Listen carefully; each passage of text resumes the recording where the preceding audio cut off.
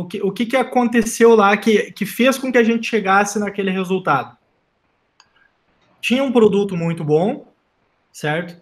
A gente viu que o mercado ele estava se posicionando para aquilo e a gente desenvolveu uma ideia, uma oferta em cima daquilo. A gente acertou de primeira? Claro que não.